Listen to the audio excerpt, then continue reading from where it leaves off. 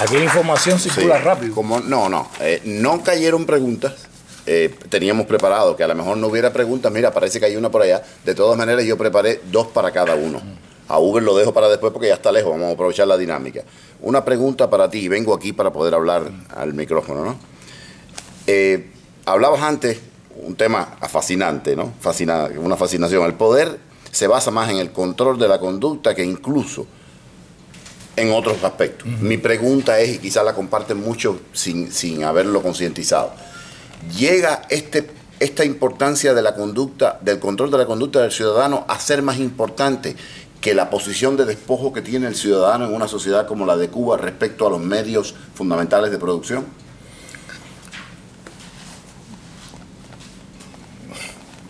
me lo perdonan, muchos de los que están aquí me han oído esta- esto varias veces, pero lo voy a repetir. Eh, yo considero que el autor que más ha estudiado el fenómeno de la resistencia, las rebeliones y las revoluciones se llama Barrington Moore Jr. Y el resumen de su obra es que para que se dé cualquiera de esas tres cosas en alguna escala, tienen que conjugarse tres factores. Uno, la gente tiene que sentir y creer que su situación es injusta, que está recibiendo un trato que no se merece.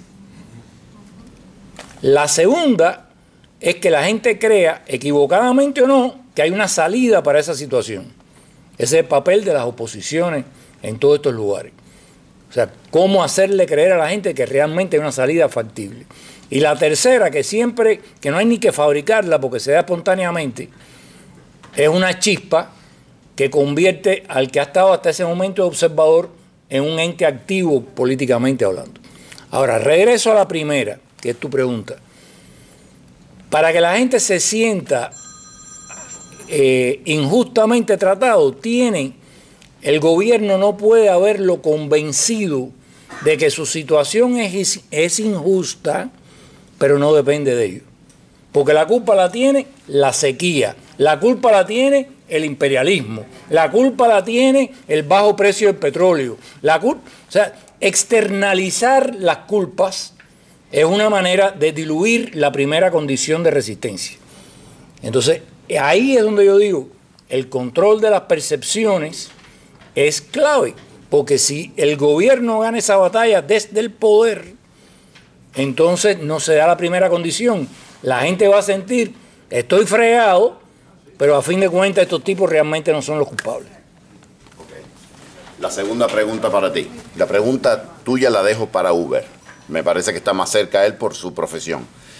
Eh, la, pregunta que, la segunda pregunta que tenía para ti es, ¿pudo haber jugado? Esta crisis de Venezuela y los precios del petróleo no se ve desde hoy, se veía venir hace años.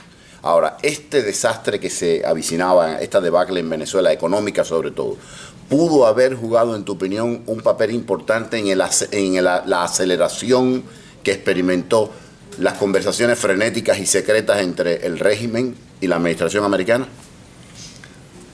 Yo soy muy, honradamente, a diferencia de muchas otras personas, soy muy escéptico y muy sobrio en lo que se refiere a ponderar la voluntad de La Habana en, en el resultado de, de esas conversaciones.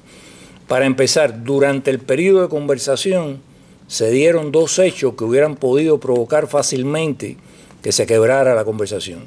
Una fue el contrabando de armas y la otra fue el que el misil Hellfire terminara en La Habana y que todavía no lo hayan devuelto. Ninguna de las dos pudo descarrilar la conversación. Ahora, creo yo, como mucha gente, uno, uno lee la prensa, incluso yo tengo excelentes amigos que son brillantes economistas. Yo diría que algunos de los amigos míos son los mejores economistas y analistas de Cuba que pueda contar el, cualquiera, cualquier institución. Y yo siempre cuando hablo con ellos les digo, ojo con la palabra tienen. Cuando dice, en estas condiciones Raúl Castro no le queda otro remedio, tiene que hacer más reformas, tiene que acercarse a los Estados Unidos, tiene que...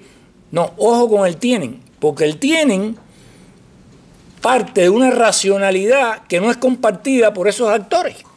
O sea, para nosotros la brújula es Hombre, si se crea una situación de inestabilidad interna y la gente está, eh, eh, ¿cómo se llama?, disgustada, pues no le queda más...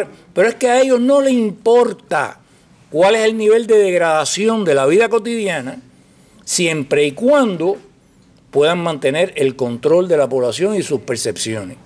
Siempre y cuando la gente hable mal del gobierno en su casa, esperando un ómnibus, pero no se organice para, para pedir reclamo. Mientras no haya el menor indicio de que eso se traduce en resistencia política activa, el tienen ese, francamente, se lo pueden saltar, porque eso no va a ocurrir. Esos no son actores racionales a partir de nuestra racionalidad. La brújula de esa gente es permanecer en el poder y transmitirlo a quien ellos designen. Y para eso tienen los mecanismos de control militar, pero sobre todo todavía, aunque cada vez en más quiebra, los mecanismos de control de la subjetividad. Muchas gracias.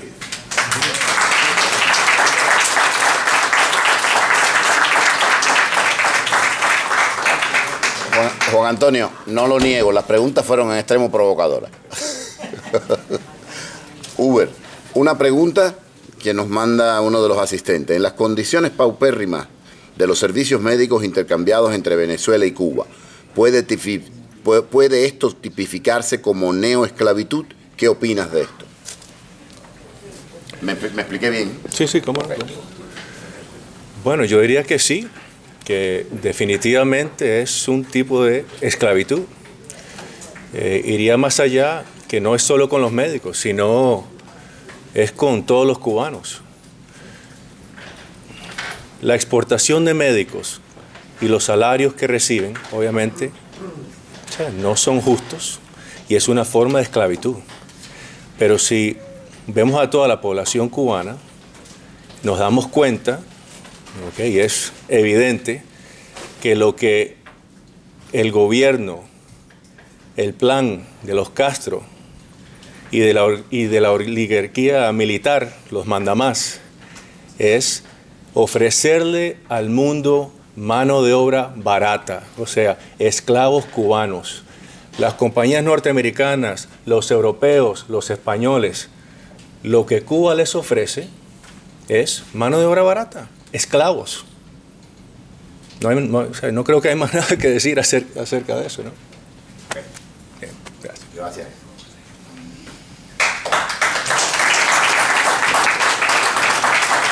Como estamos apretadísimos con el tiempo, quería cerrar con un breve comentario. Es una sensación muy personal, pero pienso que sea compartida por muchos de los cubanos que estamos aquí.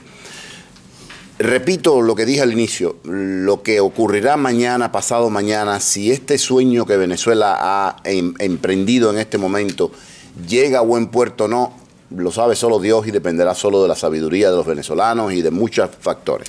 Ahora, como cubano, eh, uno llega al punto de la emoción cuando puede ver a hermanos de América Latina que pueden conjugar en presente indicativo lo que para nosotros solo se habla en futuro o en pasado remoto.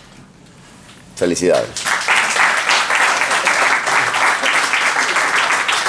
Gracias Andrés Albuquerque, gracias Juan Antonio Blanco, gracias Hugo Mato Garzó por interesante aporte que hemos tenido.